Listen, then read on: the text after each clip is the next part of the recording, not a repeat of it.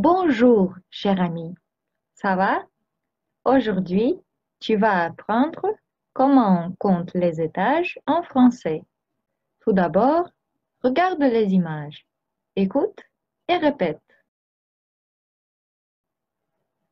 C'est une maison sans étage. C'est une maison à un étage.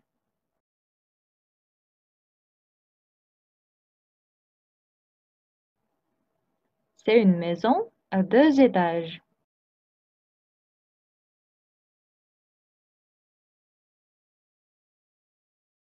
C'est une maison à trois étages. Regarde, c'est la famille Dubois. Ça, c'est la famille Martin. Et ça, c'est la famille Benoît.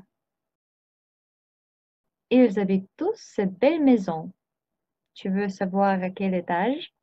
Regarde. La famille Dubois habite au premier étage.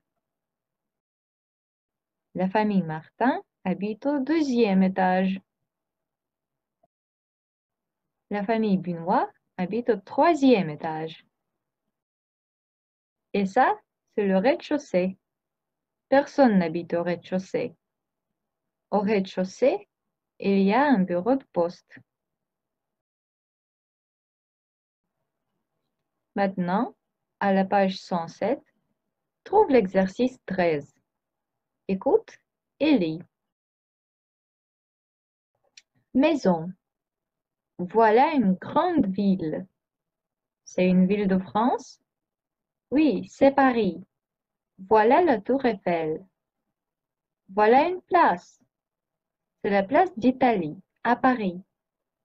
Monsieur Thibault habite place d'Italie? Oui, au numéro 10. Voilà sa maison.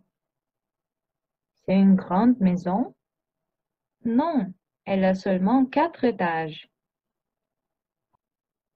Je vois, en bas à droite, il y a un café. Oui, et à gauche, il y a une pharmacie. Où est l'appartement de Monsieur Thibault? Il est au quatrième étage. Premier étage, deuxième étage, troisième étage, quatrième étage. C'est haut. Monsieur Thibault habite au quatrième. Voilà les fenêtres de son appartement. Les deux fenêtres à droite? Oui, et les trois fenêtres sur la rue. Quelle rue? La rue de la Gare. Réponds aux questions de l'exercice 14 à la page 107. Dis oui ou non. Monsieur Thibault habite place d'Italie? Oui. La maison de Monsieur Thibault est grande? Non. L'appartement de Monsieur Thibault est au rez-de-chaussée? Non. En bas, à droite, il y a un café et à gauche, il y a une pharmacie? Oui. Il y a trois fenêtres sur la rue? Oui.